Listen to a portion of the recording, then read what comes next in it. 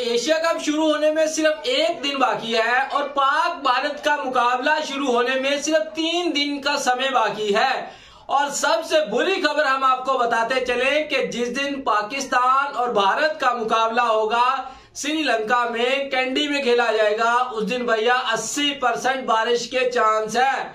और हो सकता है कि जिन लोगों ने बहुत महँगे महँगे टिकट्स खरीदे हैं भैया, वो इस मैच को ना देख पाए। क्योंकि बारिश आएगी, बारिश इस मैच को नहीं होने देगी। 80 परसेंट बारिश कम नहीं होती भैया। अगर दो घंटे भी बारिश हो जाती है तो मैं नहीं मानता कि पाक भारत का मुकाबला शुरू हो पाएगा।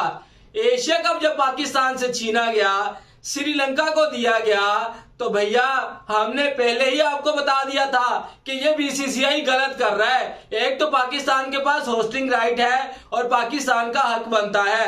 दूसरा, चले, आपने जिस तरह से भी छीन लिया उनसे, जो भी सिक्योरिटी का बहाना बनाकर जो भी किया आप लोगों ने, कम से कम आप लोग ये तो देख लेते कि भैया, एशिया कप जब होगा, उस वक्त श्रीलंका में बारिशों का ज़ोर होगा।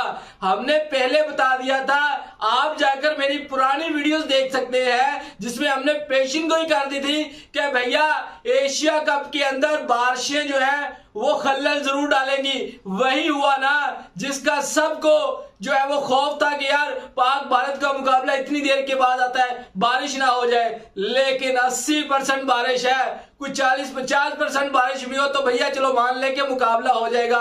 80 परसेंट बारिश है, ये तो कुछ अनहोनी ही हो जाए कि पाक भारत का मुकाबला हो जाए। लेकिन अगर मुझसे पूछो ना तो मैंने इस चीज़ को लेके मान रहा कि पाकिस्तान और भारत का मुकाबला हो पाएगा। भैया 20 15 40 ओवर का मुकाबला 30 ओवर का मुकाबला हुआ तो क्या हुआ? पाकिस्तान, भारत का मुकाबला देखने का मज़ा ही तब आता है जब मुकम्मल मैच हो, बारिश ना हो। तो ये है पाकिस्तान से होस्टिंग राइट छीनने के नतज पाकिस्तान अपना पहला मुकाबला नेपाल के साथ खेल रहा है। पाकिस्तान उस मुकाबले को जीतेगा। पॉइंट्स टेबल के ऊपर पाकिस्तान के हो जाएँगे दो पॉइंट्स अगर पाकिस्तान और भारत का जो है वो मैच बारिश की नज़र हो जाता है तो पॉइंट्स किसी को नहीं मिलेंगे। और अगर नेपाल और भारत का मैच जो कि श्रीलंका में ही है, अगर वो भी बारिश की नज़र हो जाता है तो भारत और नेपाल से कौन सी टीम जो है वो क्वालिफाई कर पाएगी अगले राउंड के लिए? तो जारी बात है, नेपाल जो है वो हारी होगी पाकिस्तान से, वो तो बाहर हो जाएगी। तो भारत जो है वो क्वालिफाई कर सकता है। लेकिन यहाँ पे बात हो रही है होस्टिंग राइट छीनने की।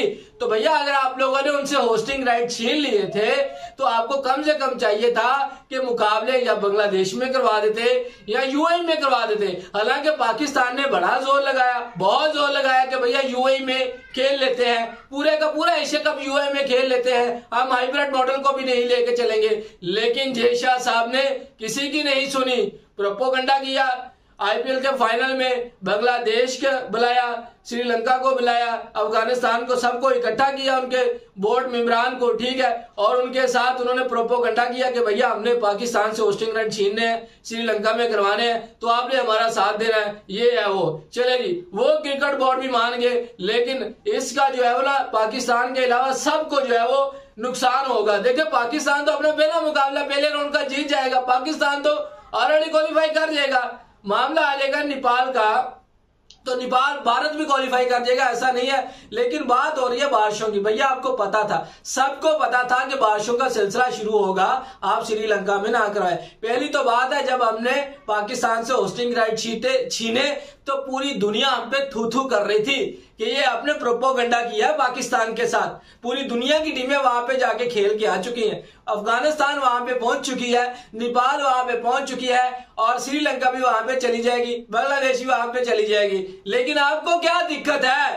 पाकिस्तान के जितने भी फैंस है भैया वो चाहते हैं कि भारत आए, हम उनको अपनी आँखों के सामने खेलता देखना चाहते हैं। जैसे हम कहते हैं कि भैया पाकिस्तान के बाबर रिजवान शहीन, राव शाहीन को हम अपनी आँखों के सामने खेलता देखे, जोश होता है ना?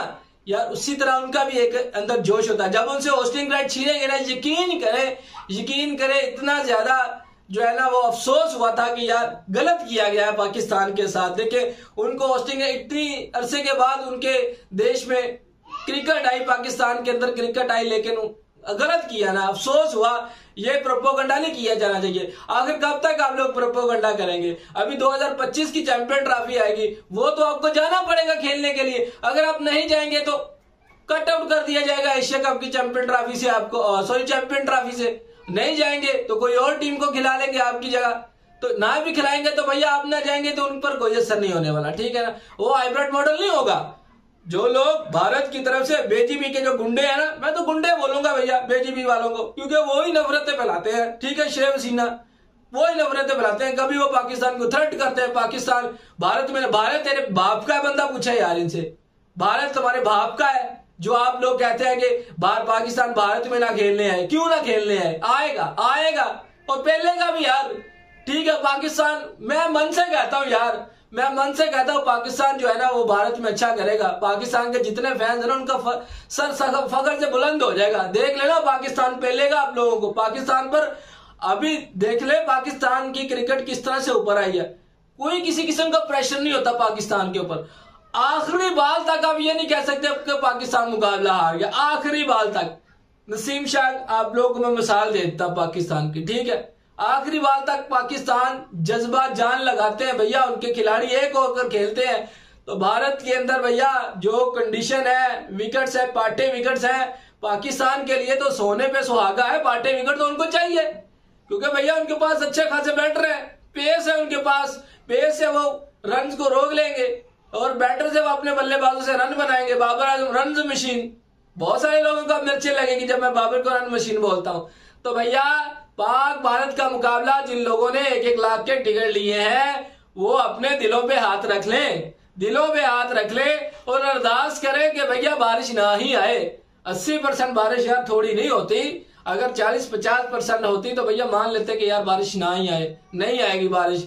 और अभी तो अरदास ही करे कि बारिश ना आए, वरना आपके जो लाख लाख पचास पचास हज़ार के टिकट्स है, वो भैया कूड़ेदान में बैंगने बैंगने पड़ेंगे मुझे तो ऐसा लग रहा है, ये प्रोपोगंडा भारत के सारी पड़ने वाला है। मुझे ऐसा क्यों लग रहा है? यार देखे जब हम किसी के खिलाफ गलत करेंगे ना तो तुम्हारे साथ भी गलत होगा, ठीक है ना? ये मत खुश हुआ करें, ठीक है ना? बहुत सारे भारत के अंदर से लोग खुश होते हैं कि यार पाकिस्तान से होस्टिंग राइट छीन ली। इस तरह ना करें यार, उनके दिल भी है यार, उनके दिल भी है।